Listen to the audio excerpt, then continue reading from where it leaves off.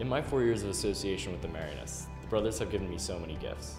The gift of an education, the gift of faith, the gift of friendship, insight, guidance, and so much more. Whether your association with the Marianists is four years, four months, or four days, I am sure that you can easily see the gifts that their presence, their faith, their dedication, and their vocation has brought into your life. For this 200th anniversary of the Marianist Order, I think that it is fitting that we, as a school, give the Marianists a gift. I've asked a number of the brothers what an appropriate 200th anniversary gift would be, and they simply said, prayers.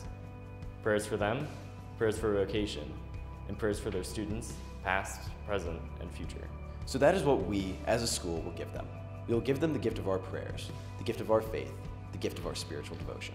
As a school, let us take the next 10 days to offer our prayers to the Marianists in a special way, a unique way, and a focused way.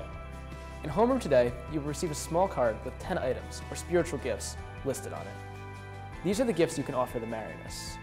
When you complete a gift, cross it off the card. I would ask you to, over the next 10 days, check off as many of these gifts as you can, as many as you deem appropriate. When you have completed the number of items that you deem appropriate, please place your card in the basket in the chapel. These spiritual gifts, these anniversary gifts, will then be presented during the offertory at our next school-wide Mass. So please, complete your gift by Wednesday, October 11th.